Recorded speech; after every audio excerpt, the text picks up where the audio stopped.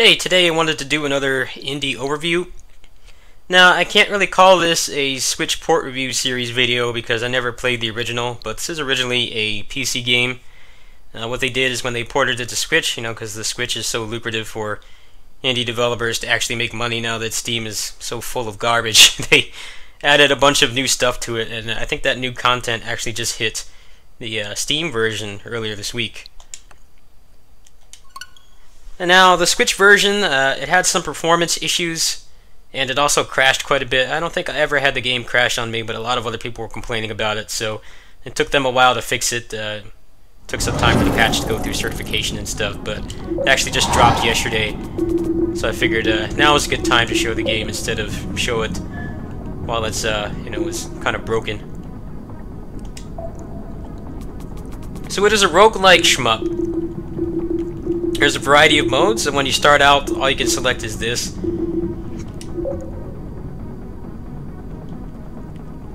But you can fight any boss that you've uh, defeated before. You can see I've fought most of them, only missing a few.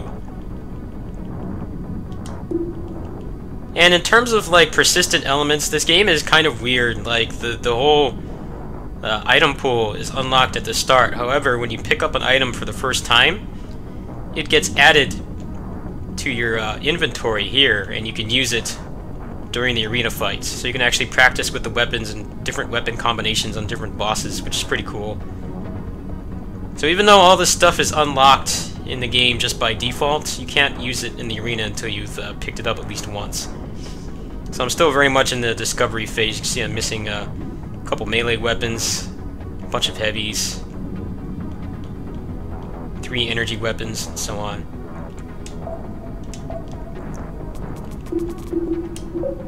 So there's a boss rush. But I don't think the uh, internet features are working right now. I think the patch screwed something up. I, I wasn't able to get to a daily run earlier.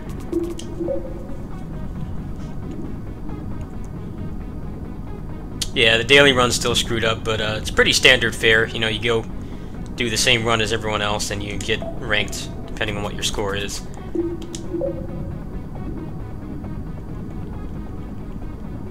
So one of the persistent elements they apparently added, like I said I did not play the original game, is they added these extra ships. In the original version this was the only one that there was, and now they have these more specialized uh, builds. Like this is just the default one. This one is slower, it has more, uh, more HP, but it does less damage, and then this one is fast and teleports around and stuff. And this one is centered on bots, and this one is like a jack-of-all-trades bot, or ship. But I think you have to beat the uh, final boss without taking damage or something. I'm not anywhere near good enough at the game to do that yet. So I'm going to play as this one.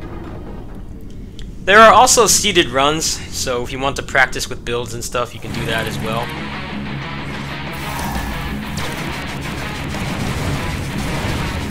I'm probably not going to get very far since this is one of the harder ships to use, but I can't finish, I haven't finished a run on this yet anyway, so that's kind of irrelevant.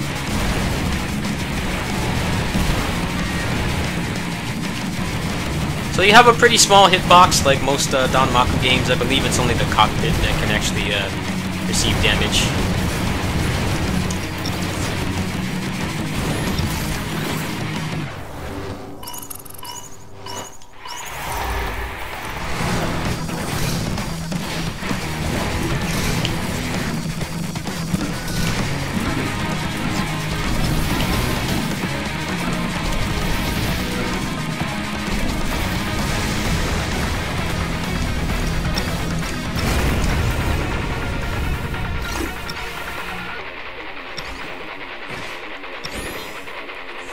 Uh, none of these are too great with this build.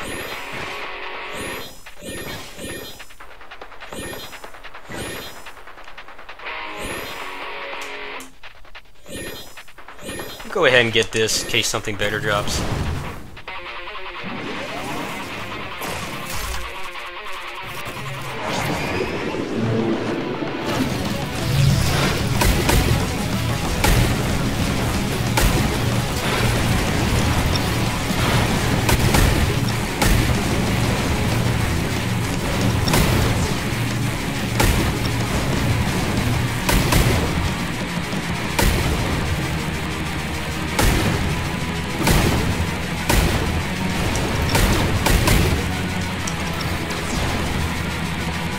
This ship has a teleport, and you can stack up to three of them on cooldown.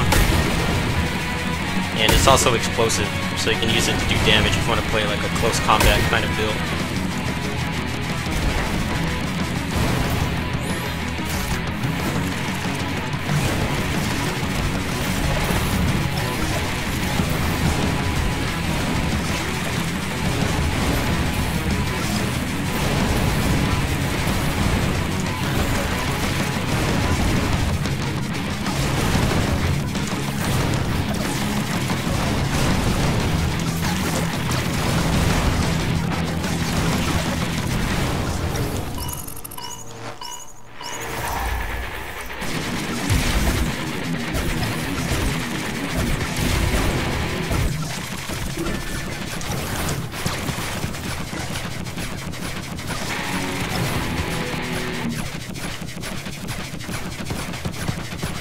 Some of the bullet patterns are actually pretty cool.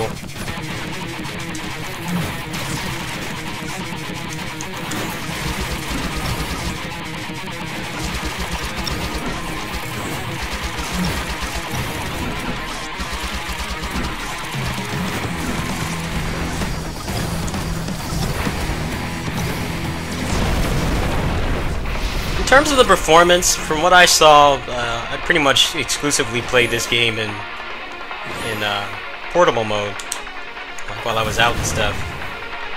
The performance seems to be uh, mostly an issue in that mode, but I played a little bit in portable mode uh, just before I started doing my recording session for this week, and it seemed to be running a lot better after the patch.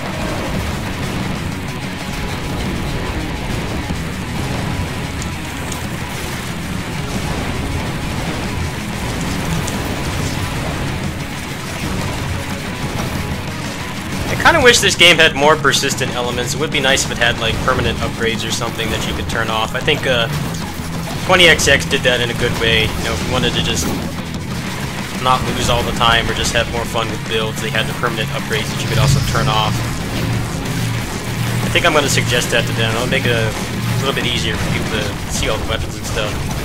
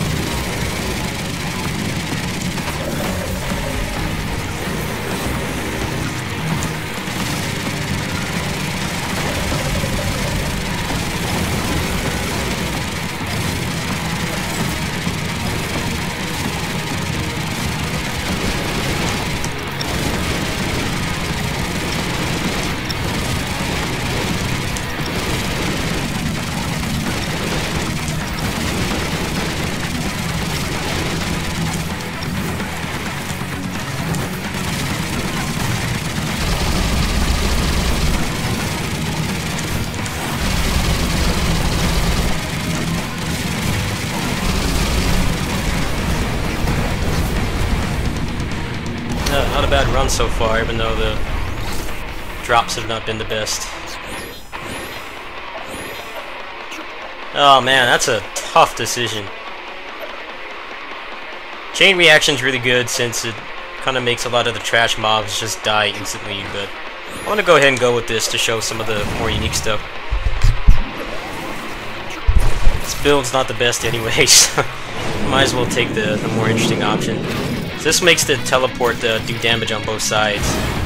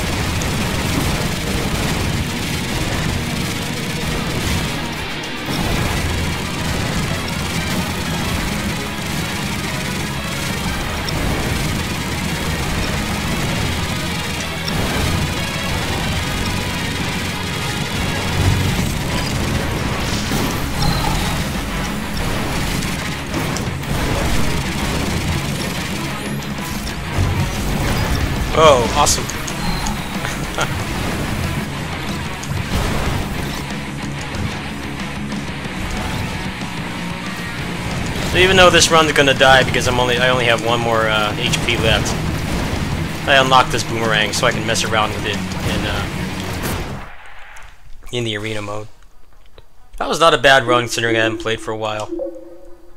But yeah, there's Steredenn Binary Stars. This game has been on PC for several years, but they just put it on Switch, I believe, a month ago. I think it cost me $12. I had a bunch of uh, the gold points from just buying a bunch of games, so I think it cost me like 8 or something. I definitely got 8 bucks out, out of it. I got pretty close to the end on one run, but fortunately, due to still being in the discovery phase, they didn't, didn't entirely make it. But I'll definitely uh, probably do some daily runs of this later on if people would be interested in that. So I think people liked my uh, dailies I did on 20XX and stuff. So if you're interested in that, or uh, daily runs on roguelikes coming back in general, especially during this dry period, go ahead and let me know. Anyway, that's it. I'll catch you guys later. Peace.